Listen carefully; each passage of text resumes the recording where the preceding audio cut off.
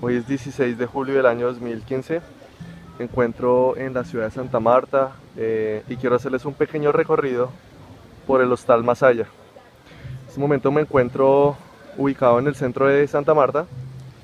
Ahí vemos eh, lo que es eh, la catedral principal del centro y yo estoy exactamente ubicado en la terraza del hostal.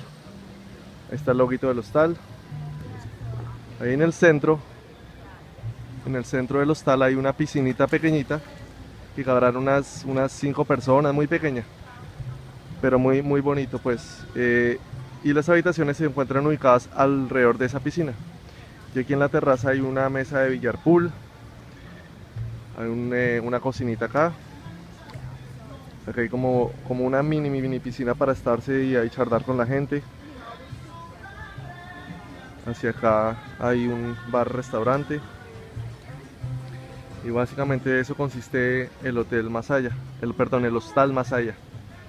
Eh, me parece súper bonito, los precios son bien económicos, 30 mil pesos una, una noche en un dormitorio de 12 personas y 45 mil pesos una noche en un dormitorio con 6 personas y con aire acondicionado.